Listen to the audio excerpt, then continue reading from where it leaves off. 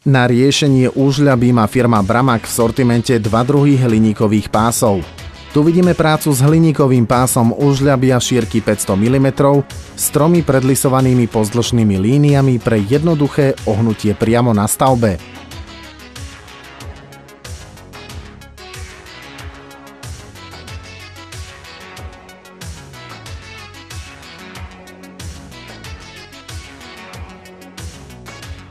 Pri montáži lícujeme spodný roh pásu užľabia s okrajom škrydly.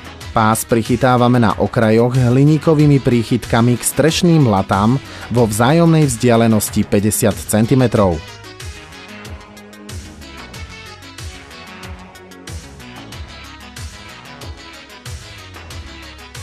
Hliníkové pásy kladieme v smere od odkvapu so vzájomným presahom 10 cm.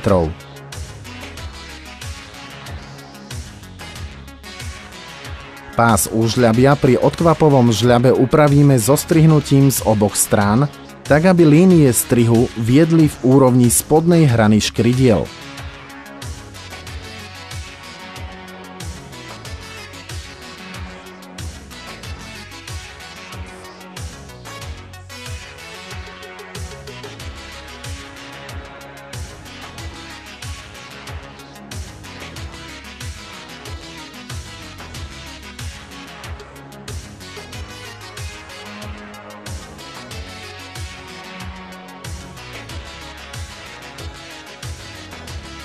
Tu vidíme užľabie pripravené na pokrývanie krytinou.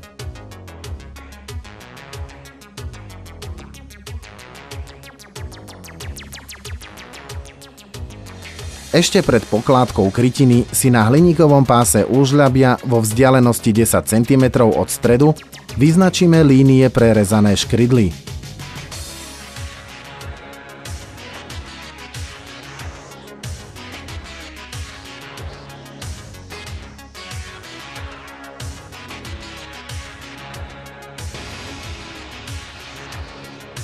Pri montáži zapusteného užľabia môžeme použiť ďalší typ hliníkového pásu užľabia zo sortimentu firmy Bramak so šírkou 640 mm. Pás má 7 predlisovaných línií na rýchle vytvarovanie priamo na mieste.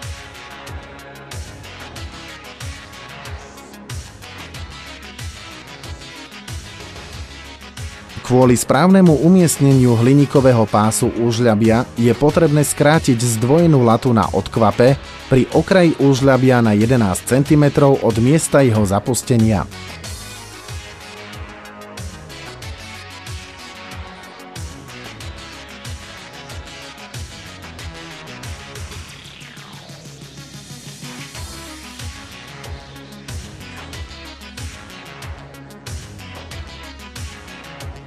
Pásy prichytávame príchytkami a kladieme s presahom 10 cm obdobne ako hliníkový pás so šírkou 500 mm.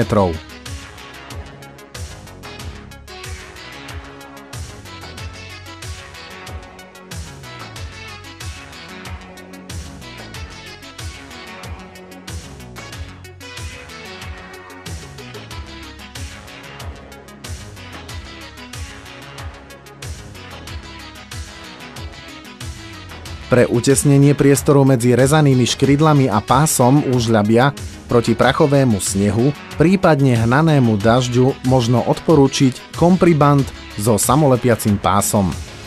Kompriband nalepíme po oboch stranách vedľa stojatej drážky, vytvarovanej na páse úžľabia.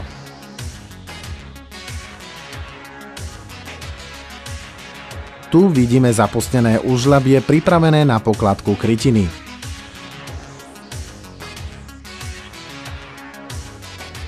Pri pokladke rezaných škrydiel v užľabi je potrebné odbitie závesných nosov.